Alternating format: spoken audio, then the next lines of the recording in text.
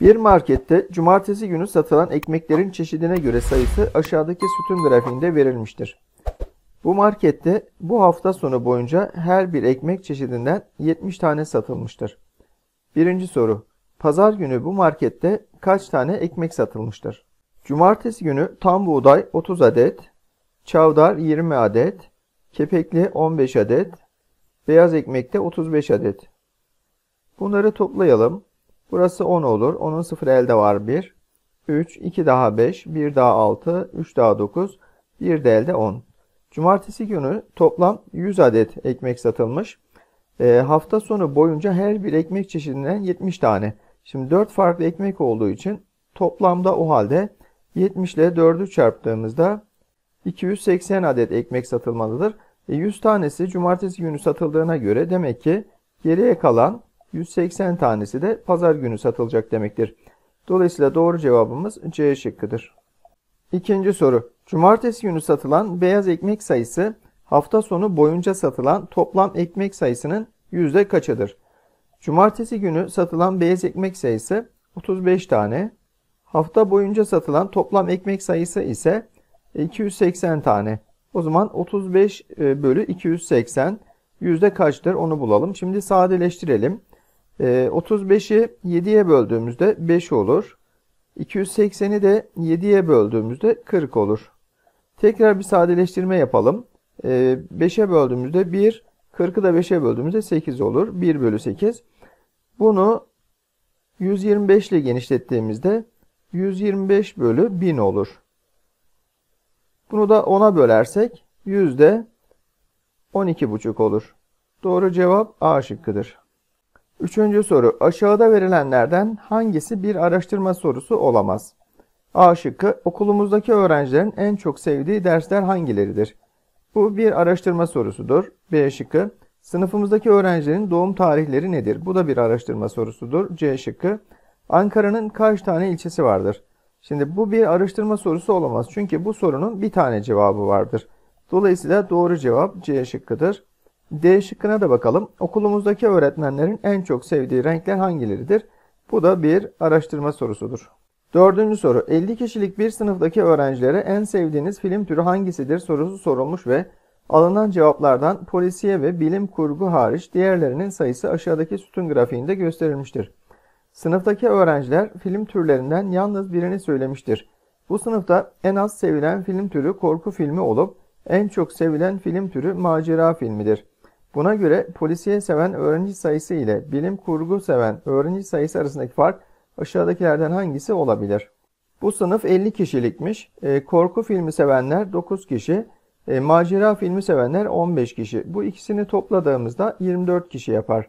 Şimdi 50'den de 24'ü çıkardığımızda geriye 26 kalır. Şimdi buradaki e, polisiye ve e, bilim kurgu filmi sevenlerin toplamı 26 kişi olacak. En az sevilen film türü korku filmiymiş. En çok sevilen film türü de macera filmiymiş.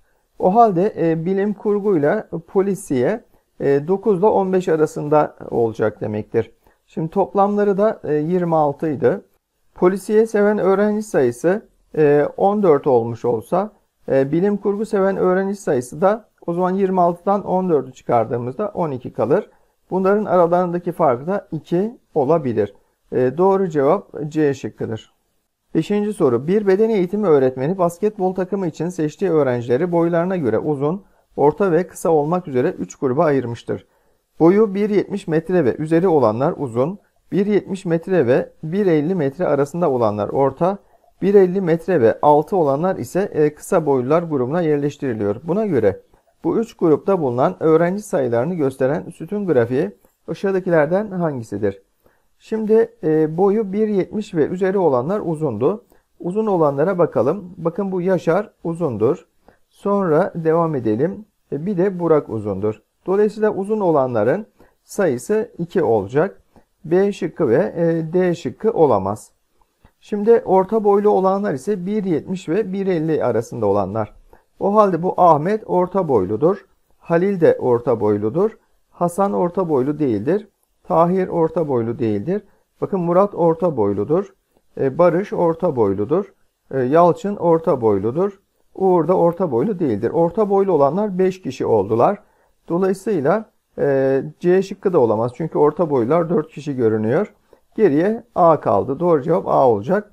Bir de kısa boylu olanlara bakalım. Kısa boylu olanlar da 1.50 metre ve altıydı. Yani Hasan kısa boylu, Tahir kısa boylu, bir de Uğur kısa boylu. Kısa boylularda 3 kişi. Bakın burası 3, burası 5, burası da 2. Doğru cevap A şıkkıdır. Altıncı soru. Aşağıdakilerden hangisi bir araştırma sorusudur? A şıkkı. Ağrı Dağı'nın yüksekliği kaç metredir? Bu araştırma sorusu değildir. Çünkü bu sorunun bir tane cevabı vardır. B şıkkı Ayşe'nin kaç kardeşi vardır? Bu da araştırma sorusu değildir. Çünkü bu sorunun da bir tane cevabı vardır. C şıkkı sınıftaki kız öğrencilerin en sevdiği renk hangisidir? Bakın bu bir araştırma sorusudur. Çünkü birden fazla cevabı vardır. Doğru cevap C şıkkı olacak. D şıkkının da yanlış olduğunu görelim. Ali'nin en başarılı olduğu ders hangisidir? Bu soru da araştırma sorusu değildir. Çünkü bunun da bir tane cevabı vardır. Doğru cevap C şıkkıdır. Yedinci soru. Bir araştırmada en sevdiğiniz mevsim hangisidir sorusuna verilen yanıtların sonbahar hariç mevsimlere göre yüzde olarak gösterimi aşağıda sütun grafiğinde verilmiştir. Araştırmaya katılan herkes mevsimlerden yalnız birini söylemiştir. Yaz mevsimini seven kişi sayısı 6 olduğuna göre sonbahar mevsimini seven kişi sayısı kaçtır? Önce sonbaharın e, yüzdesini bulalım. İlkbahar %35, e, yaz %30, kış %15. Bu üçünü toplayalım. 5, 5 daha 10, elde var 1. 3, 3 daha 6, 1 daha 7, 1 de elde 8. Şimdi tamamı %100. %100'den %80'i çıkarsak geriye %20 kalır. Sonbahar %20 olacak. Yaz mevsimini seven kişi sayısı 6'ymış. Bir sayının %30'u 6'ymış. Bunu bulabilmemiz için 6 ile 100'ü çarparız. Sonra da 30'a böleriz. 6 ile 100'ü çarpınca 600 oluyor. 600'e de 30'u bölünce 20 çıkar. Bu şu demek e, sınıfın tamamı 20 kişi. Bize %20'si sorulmuş yani sonbahar. O halde 20'nin %20'sini hesaplayacağız. 20 ile 20 bölü 100'ü çarpacağız. Bakın buradaki sıfırlar sadeleşirse 2 ile 2'nin çarpımı da 4'e eşittir. Doğru cevap e, D şıkkıdır. 8. soru. 60 adet elmanın tamamının 5 kişiye dağılımını yüzde olarak gösteren sütun grafiği aşağıda verilmiştir. Daha sonra bu dağılım tekrar yapılmış ve 60 elma 5 kişiye eşit olarak paylaştırılmıştır. Buna göre son durumda elma sayısı ilk duruma göre değişmeyen kişi aşağıdakilerden hangisidir? Şimdi Ayşe elmaların %15'ini almış. Toplam 60 elma vardı. 60'ın %15'ini hesaplayalım şimdi. Bakın bu sıfırla bu sıfır sadeleşir. 15'i ee, 5'e bölersek 3 olur. 10'u 5'e bölersek 2 olur. 6'yı 2'ye bölersek 3 olur. 3 ile de 3'ü çarptığımızda Ayşe'nin elma sayısını 9 buluruz. Elif'in elma sayısını hesaplayalım. 60'ın %10'unu bulalım. Buradaki sıfırla bu, bu sıfırla da bu sadeleştiğinde 6 kalır. Kenan'ın elma sayısını bulalım. Kenan'ınki de %20 idi. 60'ın %20'sini bulacağız. Bu sıfırla bu sıfır, bu sıfırla bu sıfır sadeleştiğinde 12 kalır. Ee, Sezgin'in elma sayısını bulalım. 60'ın %25'ini hesaplayalım. Şimdi bu sıfırla bu sıfır sadeleşir. Ee, 25'i 5'e bölersem 5 olur. Onu 5'e bölersem 2 olur. 6'yı 2'ye bölersem 3 olur. 3 ile de 5'i çarptığımızda 15 buluruz. Son olarak Fatih'in elma sayısını bulalım. 60'ın %30'unu hesaplayalım. Sıfırlar sadeleşir. 3 kere 6 18 oldu. Şimdi dağılım tekrar yapılmış ve 60 elma 5 kişiye eşit olarak paylaştırılırsa 60'ı 5'e böldüğümüzde kişi başına 12 elma düşer. Şimdi elma sayısı değişmeyen. Bakın 12 ile aynı olan buradaki 12. Dolayısıyla bu e, Kenan'dı. Kenan'ın elma sayısı değişmemiştir. Doğru cevap e, C şıkkıdır.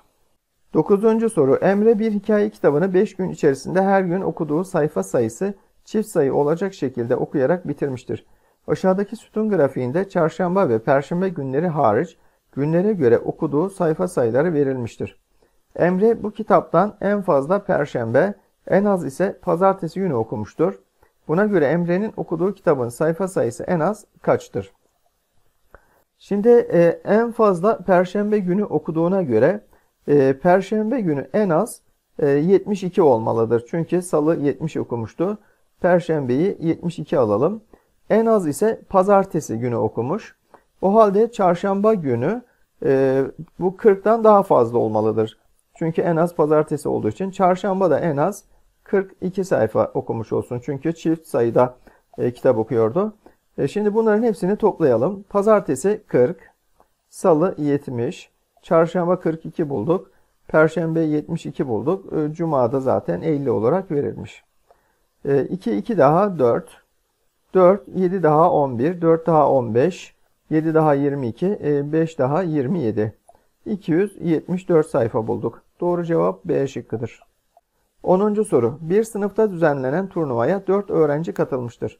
Her öğrenci diğer 3 arkadaşıyla birer kez karşılaşacak, kazanan 2 puan, berabere kalan 1 puan alacak ve kaybeden puan almayacaktır. Aşağıdaki sütun grafiğinde bu öğrencilerin aldığı puanlar gösterilmiştir. Buna göre aşağıdakilerden hangisi kesinlikle yanlıştır? Sütun grafiğini incelediğimizde Özgün'ün sadece 1 puanı var. Demek ki Özgün sadece bir beraberlik almış. Hiç e, galibiyeti yok. E, Soner'in 2 puanı var. Soner bir galibiyet ya da 2 tane beraberlik almış olabilir. Şimdi e, şıklara teker teker bakalım. A şıkkı Fırat Özgün'ü yenmiştir diyor. Evet Fırat Özgün'ü yenmiş çünkü Özgün'ün hiç galibiyeti yok. B şıkkı Soner ve Fırat berabere kalmışlar. Olabilir de olmayabilir. Her ikisi de olabilir. Kesinlikle dediği için bununla ilgili kesin hüküm veremeyiz. C şıkkı Fırat e, Yılmaz'ı yenmiştir e, denmiş. Şimdi Fırat Yılmaz'ı yenmiş olsa bakın Yılmaz'ın 5 puanı var. Yılmaz e, iki maçı galibiyetle bir tanesini berabere bitirmiş. Çünkü 5 puan almış. Dolayısıyla Yılmaz'ın hiç mağlubiyeti yok. Fırat Yılmaz'ı yenmiş olamaz. Bu kesinlikle yanlıştır. Doğru cevap C şıkkıdır. D şıkkına bakalım. Yılmaz Özgün'ü yenmiştir.